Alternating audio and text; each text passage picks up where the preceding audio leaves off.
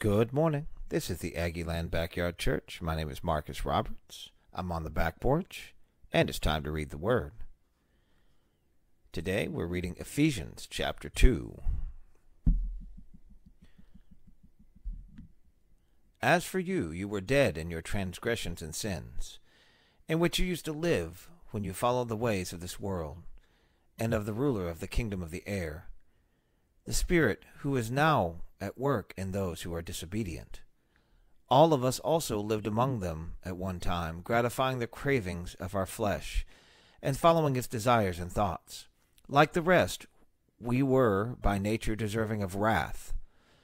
But because of his great love for us, God, who is rich in mercy, made us alive with Christ, even when we were dead in transgressions.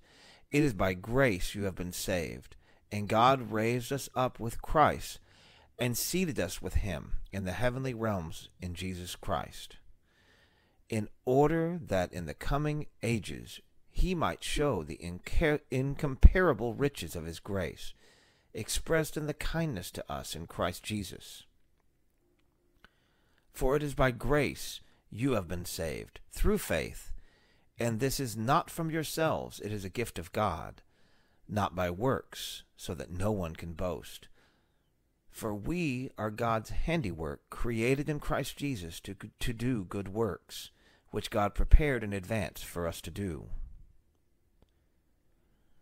Therefore, remember that formerly you who are Gentiles by birth and called uncircumcised, by those who call themselves the circumcision, which is done in the body by human hands.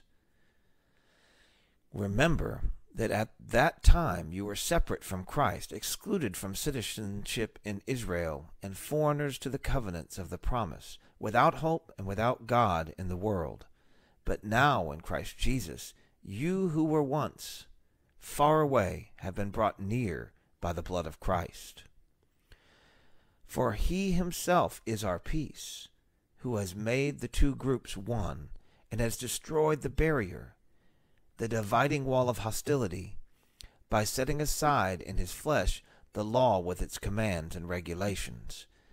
His purpose was to create in himself one new humanity out of the two, thus making peace, and in one body to reconcile both of them to God through the cross by which he put to death their hostility.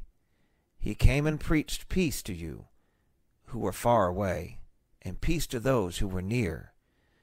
For through him we both have access to the Father by one Spirit. Consequently, you are no longer foreigners and strangers, but fellow citizens with God's people, and also members of his household, built on the foundation of the apostles and the prophets with Christ Jesus himself as the chief cornerstone. In him the whole building is joined together and rises to become a holy temple in the Lord. And in him you too are being built together to become a dwelling in which God lives by his Spirit. That's the word of the Lord for the day. Have a great day.